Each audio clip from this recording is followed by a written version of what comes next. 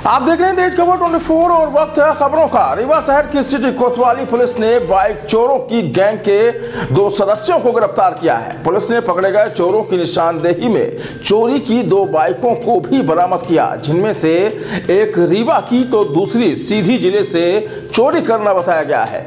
Police की माने तो पकड़े गए चोरों की गैंग में तीन अन्य युवक भी शामिल हैं, जिनकी तलाश फ़िलहाल जारी है। फ़िलहाल पुलिस पकड़े गए। इन चोरों से अन्य चोरी की घटनाओं के संबंध में पूछताछ कर रही है। माना जा रहा है कि गैंग से अन्य चोरी की घटनाओं के राज भी खुल सकते हैं।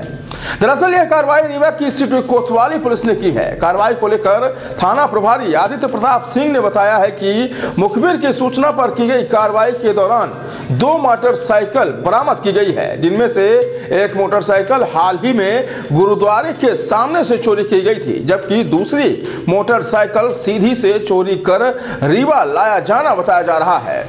पुलिस के मुताबिक पकड़े गए आरोपी अजय उर्फ़ लोनिया निवासी बैकुलपुर, हाल निवास पुष्पराज नगर एवं मन्नू प्रजापति उर्फ़ टीआई को हिरासत में लिया गया है, जिनसे प्राथमिक पूछताछ के दौरान तीन अन्य आरोपियों के नाम भी सामने आ रहे हैं, जिनकी तलाश पुलिस द्वारा की जा रही है।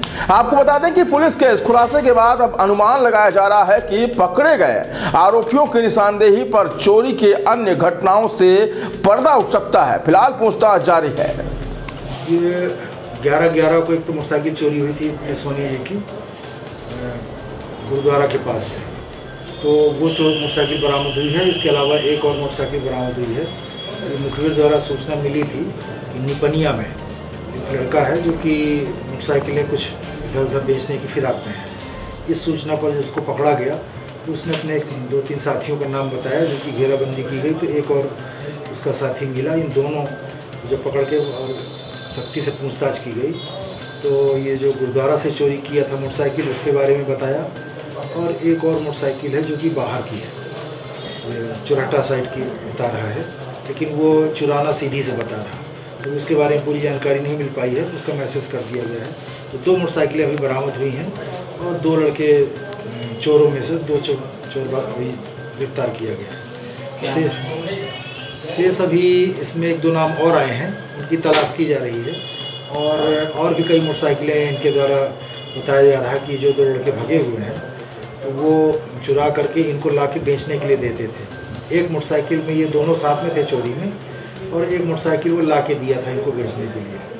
तो जो मेन चोर है अभी उसकी तलाश की जा रही है। उसके मिलने पर भी और भी उनका नाम एक तो अजय उर्फ़ अज्जू लोनिया है।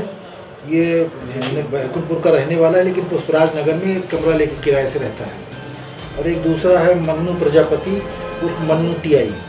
अपना नाम इसको लोग टीआई से पुकारते हैं। इसके पूर्व ये कई चोरियों में जेल जा चुका है। तो ये दो आरोपी पकड़े गए।